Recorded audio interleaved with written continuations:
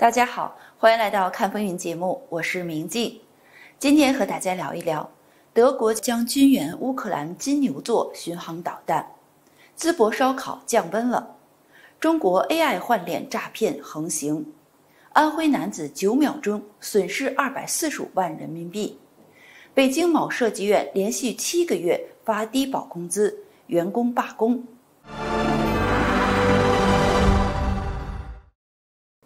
继英国军援乌克兰六百枚暴风影导弹后，法国也军援了法国版的暴风影，就是斯卡普 E-G 巡航导弹。而德国可能向乌克兰提供金牛座巡航导弹，将大大加强乌克兰的远程打击能力。德国媒体报道说，德国议员正在呼吁德国政府援助乌克兰金牛座 KEPD 三五零空射巡航导弹。金牛座是德国和瑞典联合研制的，采用涡扇发动机，导弹采用惯导加 GPS 加末端红外成像的复合制导方式，命中精度在十米以内。它的一大特点是可打击坚固或地下目标。它的串联钻地弹头重四百五十四千克，可击穿六米厚的钢筋混凝土或三十六米厚的土层。它的另一大特点是射程远，英国暴风影导弹射程可达二百五十公里，而德国金牛座的射程可达五百公里。如果乌克兰有了这款导弹，再配备 F 十六战机，乌克兰的打击能力将翻倍提升。届时，俄罗斯在乌克兰境内的所有军事目标都将在乌克兰的打击范围内，克里米亚的俄军将会面临巨大的压力。在极端情况下，乌军如果从边境地区发射金牛座导弹，可以直接袭击克里姆林宫。德国的金牛座导弹库存也多，十年前购买了六百枚，但德国使用这种高精度制导导弹的需求并不高，所以只有一百五十枚处于运行状态。德国议员认为，这些导弹在乌克兰更能用上派场。爱国者系统在乌克兰展现出巨大的反导能力后。为了更好地对付俄军的巡航导弹和无人机，美国表示要再援助乌克兰一套 NASAMS。德国表示年底前再援助两套 IRS-T 防空系统。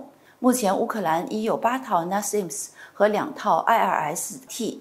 NASAMS 和 IRS-T 因为具有高拦截率和高度自动化，深受乌军喜爱。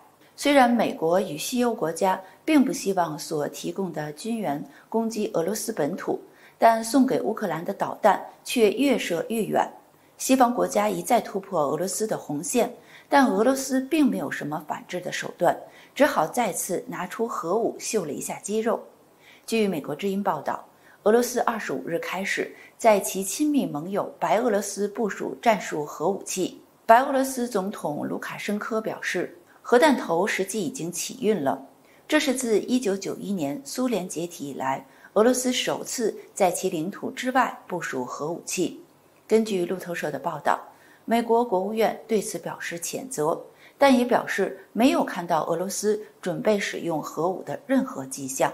俄罗斯入侵乌克兰十五个月以来，乌军在美国及其盟友的大量军援下进行了英勇顽强的抵抗，这使不可一世的俄军没有达到原定的战略目标。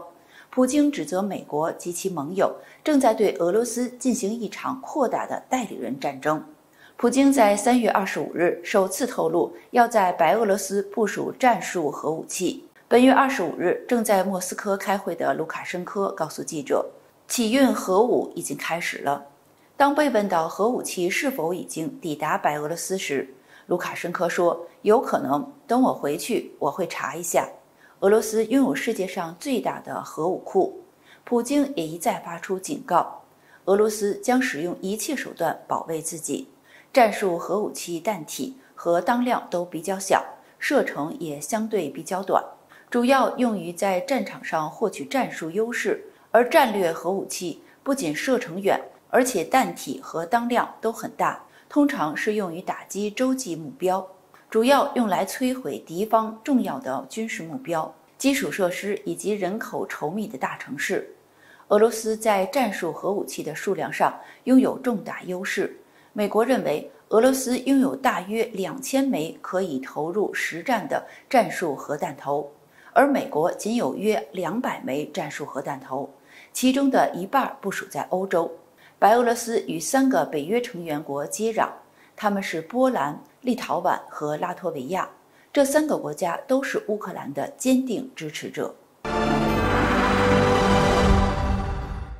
山东淄博烧烤以烤炉、小饼加小葱蘸料作为招牌三件套，在五一前后火爆异常。但近期除了老牌店生意还行，整体热度大降。网传视频中说，当地一家烧烤店下午六点就没有顾客上门了。在淄博烧烤火爆的时候。一位曾去过淄博吃过烧烤的四川顾客告诉记者，最火的是牧羊村，节假日人挺多的。平时去的话，你早点去排队，早上六点半就有人排队了。每天发两百个号，反正你去晚了肯定是排不上号。不过自五月中旬起，网上就开始传出许多视频和照片，显示淄博多家烧烤店空无一人。有视频显示。一个自称能同时容纳三千人的露天烧烤大院，疑似已经关门歇业。也有网传视频显示，当地一家烧烤店的露天用餐区常常一大排座位上没有一个顾客。视频拍摄者介绍说，已经下午六点了，仍然没有客人。十天前这个时候可是坐得满满的。当地一家老牌烧烤店老板告诉记者，他的店现在还是正常营业。但客流量大减，他说：“从五一开始，淄博一下子开了太多的店，乱套了。像这一条街以前就三四家烧烤，现在都九家了。那些跟风的店可惨了。”他说：“因为自己是七八年的老店，还能坚持，但生意基本上就是回到平常了，老顾客居多。”资深评论人士蔡胜坤表示。淄博烧烤火爆，其实是网红经济推动的结果。毕竟淄博本身是传统资源型城市，也是老工业城市。如果没有实质性的资源跟进，不能让这种网络流量落地生根，烧烤热肯定是昙花一现。中国 AI 换脸诈骗案频发。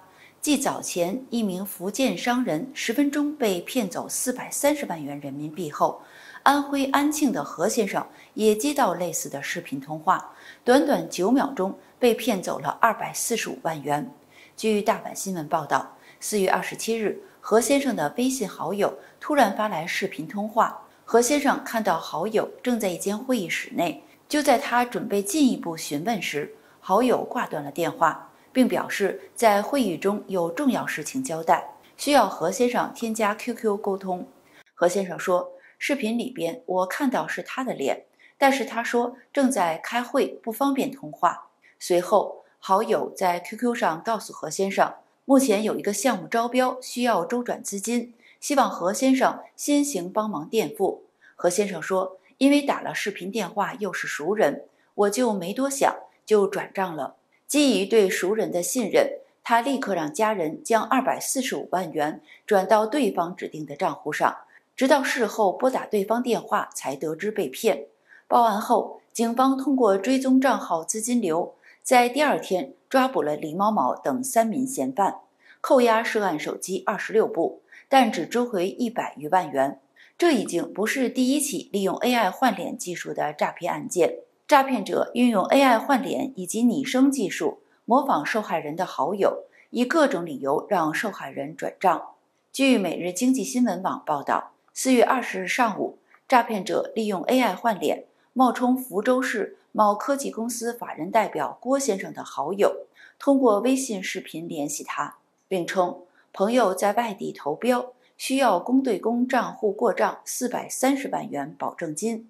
想借用郭先生公司的账户走账，郭先生就把公司银行账户告诉了对方。随后，对方声称已把钱打到了他的账户上。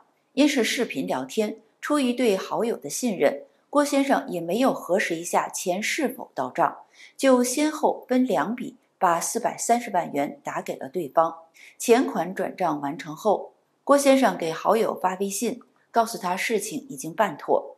不料好友回复了一个问号。郭先生随即拨打好友电话核实，对方坚称没有这回事。郭先生才意识到自己已经遇到了高科技诈骗，才报了警。中国经济下滑，失业率上升，不少公司裁员。近日，中国网络传出消息，央企北京某设计院的几百名员工连续七个月拿低保工资。许多人难以维持生计，其中六名设计师声明集体罢工。二十六日，微信公众号“设计院迟英说”发文称，昨天在群里看到了一个消息，说北京某设计院的设计师从去年十月至今，夜以继日的工作，却一连七个月拿低保工资。为了核实信息的准确性，这位网友和知情人士加了微信，聊了一个小时。聊天对话显示。涉事的设计院与某公司合并成咨询公司。合并之前，公司财务一切还好，但是合并后，公司决策权被咨询公司掌控，控制了公司的资金，意图通过低薪逼这些设计师自己辞职。对话中说：“大央企太欺负人了，每个月都是两千三百二十，大家活一点不少干，钱一点没少收，收到的钱瞬间被他们拿走。”然后继续骗我们，总经理三个月没露面了，就想让我们扛不住自己走人，劳动仲裁也没用。两千三百二十元实际是北京的低保工资，除了所长、院长之外，二百多人都拿低保工资。合并之前有三百四十人，已经走了一百多了，几百人都发低保，最终目的就是裁员。好的，今天就跟大家聊到这里。如果您喜欢看风云节目，别忘了订阅、点赞并留言。我们下期节目再见。